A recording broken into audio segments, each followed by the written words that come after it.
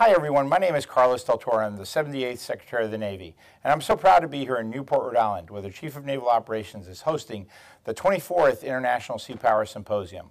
We are gathering here in Newport with heads of navies from across the globe to discuss common challenges and problems that we face together, to try to come up with solutions that make sense for both our nations and our navies as well, too. And so it's going to be a very exciting week. I'm proud to be part of this process. We have heads of navies here from Africa, from South America, from Central America, from Europe, from the Indo-Pacific, and we're looking at issues that address our navies across the globe. It's wonderful to be here with them and their spouses to better understand their challenges and get to better know them as individuals as well so that we can collectively work together as a global partnership of navies across the world.